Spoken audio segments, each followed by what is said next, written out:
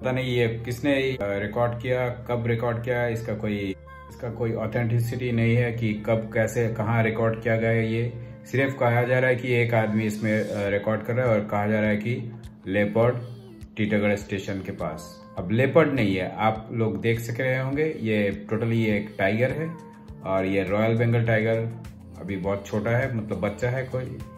तो इतना बड़ा तो ये है नहीं रॉयल बंगाल टाइगर के, शायद इन लोगों को लेंथ और इन, इन इसका हाइट भी इन लोगों को मालूम नहीं।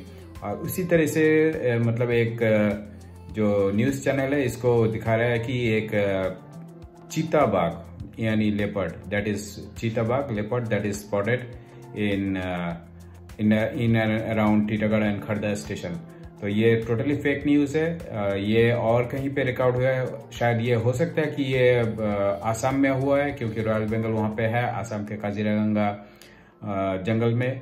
और आपको रॉयल बंगल देखने को मिलेंगे ये आपका सुंदरबन में। और आपको मध्य प्रदेश में देखने को मिलेंगे जो जहाँ पे जो फॉरेस्ट है और आपको रणथम्बोर फॉरेस्ट में देखने को मिलेंगे।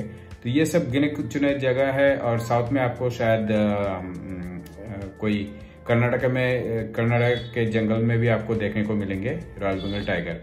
तो ये टाइगर सिर्फ़ यही कुछ गिने चुने इलाके में है और अगर ऐसा होता कि टीटागढ़ और खड़दा के बीच में ऐसे टाइगर आपको स्पॉटेड हुआ है वो भी रात के समय तो एज यूजल यहाँ पे बहुत सारे आ, मतलब फोर्स आ जाते पुलिस फोर्स आ जाते आपको फिर फॉरेस्ट डिपार्टमेंट से लोग आ जाते क्योंकि सिर्फ़ दिखाया गया है कि इस वीडियो में कि ये स्पॉटेड हुआ है लेकिन अभी तक मतलब ऐसी कोई जानकारी नहीं है कि मतलब ये टाइगर पकड़ा गया है या फिर इसको ट्रैंकलाइज किया करके फिर फॉरेस्ट डिपार्टमेंट इसको मतलब सुंदरबन में या फिर और कहीं छोड़ने का प्लान है। तो ऐसा कुछ नहीं है तो ये टोटली एक फेक वीडियो है, कहीं और पे शूट हुआ हुआ है और फिर इसको दैट इज़ और कहीं पे और शूट हुआ है और इसको दिखाया जा रहा है कि ये यहाँ पे है टीटागढ़ और खरदमी ऐसा नहीं है।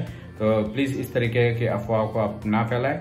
तो आप ये देखिए वीडियो कि ये टीटागढ़ और बैरकपुर के या फिर खरदा के बीच में नहीं है।